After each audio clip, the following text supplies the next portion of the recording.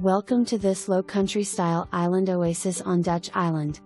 Offering comfort and sophistication on a half acre, this home provides a private sanctuary for outdoor entertaining. This beautiful residence of over 4,400 square feet boasts five bedrooms, four and a half baths.